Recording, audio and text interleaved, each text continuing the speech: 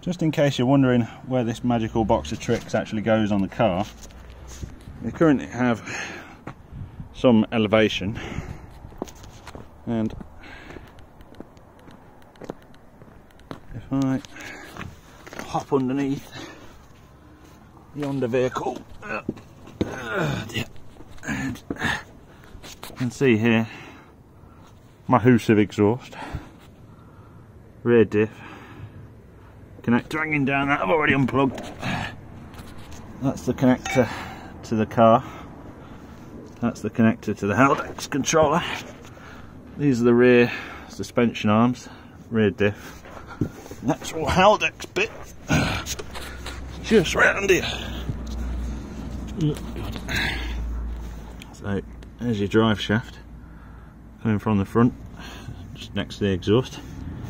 It's a rear subframe and these are where the rear control arms meet the car. You can see it's rusty as fuck. It doesn't matter now the thing I've got to fucking change is where is it? There. That's my box. That's the standard Haldex unit.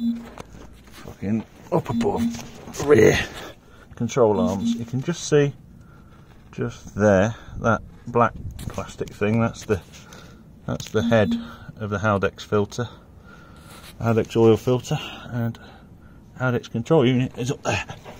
It's held on by two bolts. One on the side and one on the top.